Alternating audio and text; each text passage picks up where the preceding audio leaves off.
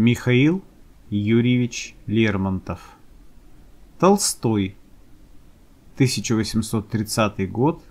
Читает Лев Литвинов.